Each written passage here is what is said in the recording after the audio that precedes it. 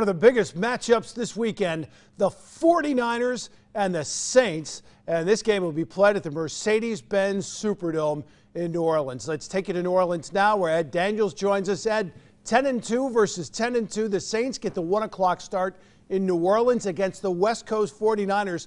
Will this work in their favor? Well, you know, I don't really know, uh, to be honest with you. Uh, you know, the 49ers have stayed on the East Coast this week.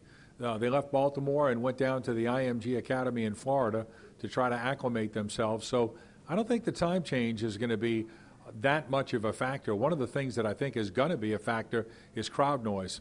And in the Saints locker room interviewing Drew Brees, he was imploring the fans to get as loud as they possibly can. And believe me, the Superdome can be uh, very much a distraction for a visiting team because of the crowd noise. And I would imagine uh, New Orleans fans listen to Drew Brees when he speaks. This game could go a long way in determining who gets home field advantage in the playoffs. Have the Saints basically begun playoff mode right now? Well, I think you have to. I mean, the 49ers are 10 and 2. If the Saints won this game, they'd have the tie break over them. They have the tie break over Seattle.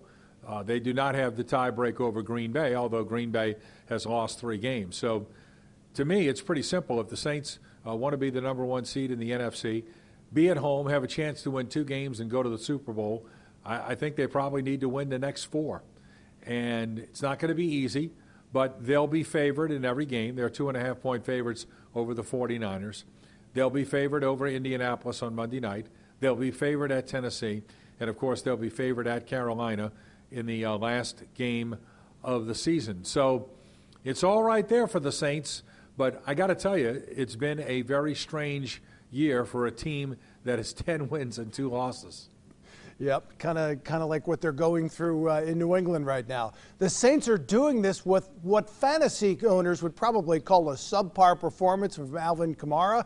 Still hasn't rushed for 100 yards in a game. He's averaging less than 13 a carry. Only scored two touchdowns, one on the ground, one receiving. Has this been a load management thing? Will his load increase going forward? Well, I got to think his load will increase. He was battling an ankle sprain. He missed a couple of games. So uh, that was a problem. And you're right. Uh, the thing about Alvin Kamara is he hasn't scored a touchdown since uh, September 22nd. Now, you referenced the two touchdowns. They were both in the same game against Seattle. He hasn't scored since, which is really an outlier because for most of his NFL career, Alvin Kamara was averaging almost a touchdown a game. So right now, he's in the midst of a drought. And you know what's really weird about this whole thing is the Saints are 10 and 2. Kamara has scored only twice. Brees has missed five games. And here's the thing that blows me away the number one stat that I find astounding, considering all the years of offensive excellence here. The Saints have not scored 40 points in a game the entire season.